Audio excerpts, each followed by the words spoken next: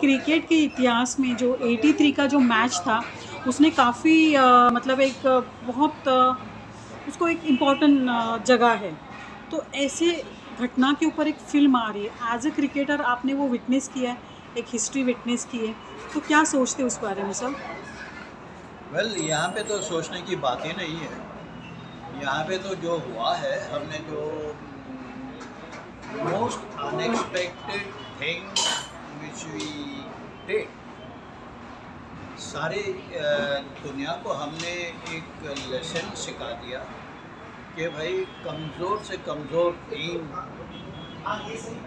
किसी भी मज़बूत टीम को हरा सकती है उस दिन। ये वनडे इंटरनेशनल का ये चमत्कार है कि, और ये हमने जीत कर reigning world champions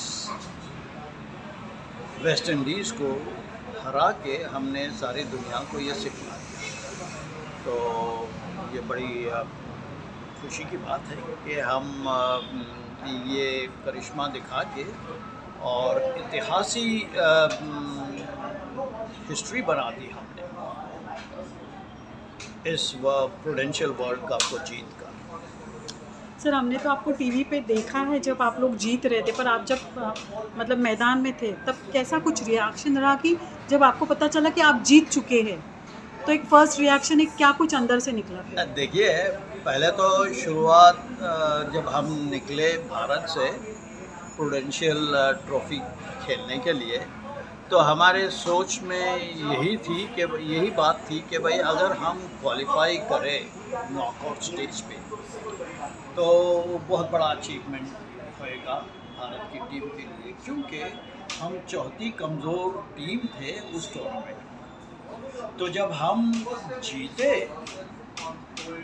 एक मैच के बाद दूसरे मैच जैसे जैसे हम जीतते चले गए, सबसे अहम टर्निंग पॉइंट जो थी हमारी, पहला मैच जो हमने रेनिंग वर्ल्ड चैम्पियंस के खिलाफ जो खेला ओल्ड ट्रैफर्ड पे हमने कॉम्प्रहेंसिव जीत, जीते उस मैच को और वहाँ से हमारे मनोबल बहुत ही मज़बूत और ऊँचे हुए और हम सारी की सारी टीम के हौसले इतने बुलंद हुए कि हर कोई खिलाड़ी अपने अपनी काबिलियत पे यकीन करने लगा और यही हमारा गुण था, यही हमारा वेपन था।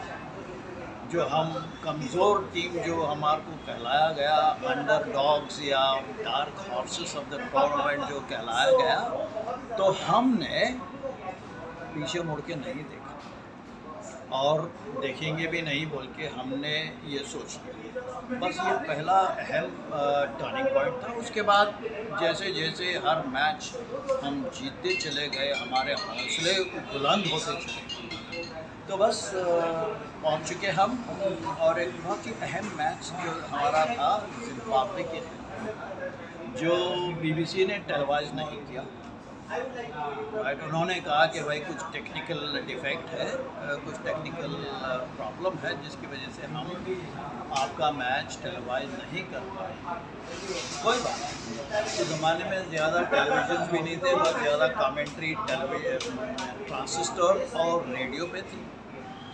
तो बहरहाल, उस मैच में हम 17 फॉर फाइव हुए और वहाँ पे हमारी सारी टीम की टीम पैनिक होने लगी कि इतना अच्छा खेलते हुए, इतने अच्छा प्रदर्शन करते हुए एक कमज़ोर टीम के साथ हम ये पोजीशन पे आए बाहर।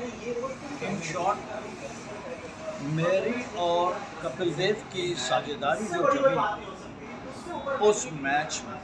जिम्बाब्वे के खिलाफ 17 for five one twenty eight for eight and उस उस उस दौर में 60 ओवर्स मैच होती थी। तो और 30 ओवर्स बाकी थे।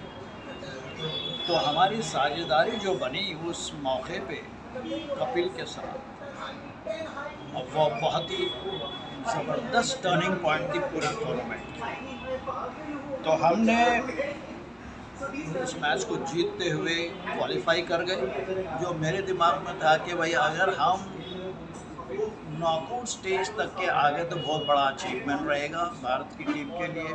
अब वो क्रॉस कर पाए वहाँ से सेमीफाइनल वहाँ पे इतिहास ही हो गया हमारा जीवन। या बिल्कुल।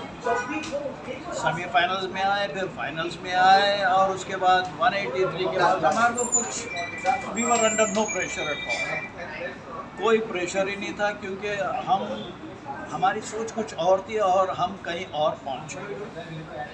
तो उस लिहाज से हमको कोई प्रेशर नहीं था को, कोई प्रेशर नहीं था कोई टेंशन नहीं था।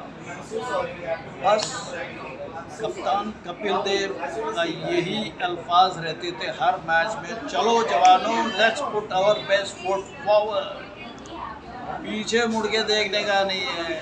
चलो।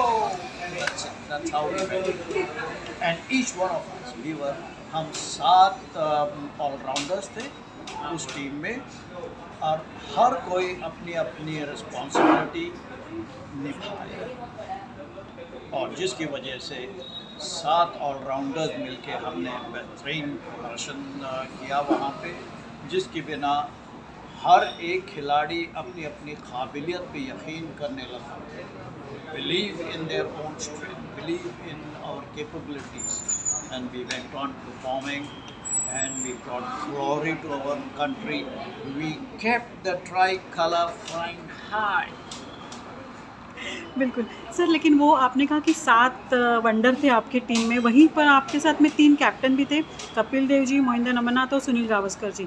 तो ये तीनों की कैप्टनसी में आपने आ, मतलब खेला है। तो what is the special you think ये तीनों की क्या खासियत रही एज ए कैप्टन देखिए, हर कैप्टन की काबिलियत अलग अलग होती है। There is no comparison it's a team work जब टीम जीतती है तो कप्तान का नाम ऊपर आता है। एक कैप्टनसी की वजह से इंडिया की टीम जीती है, या भारत की टीम जीती है। तो इट्स अ टीम और हर एक कप्तान की काबिलियत अलग अलग होती है। यू कैनॉट कंपेयर और तुलना करना मुश्किल है।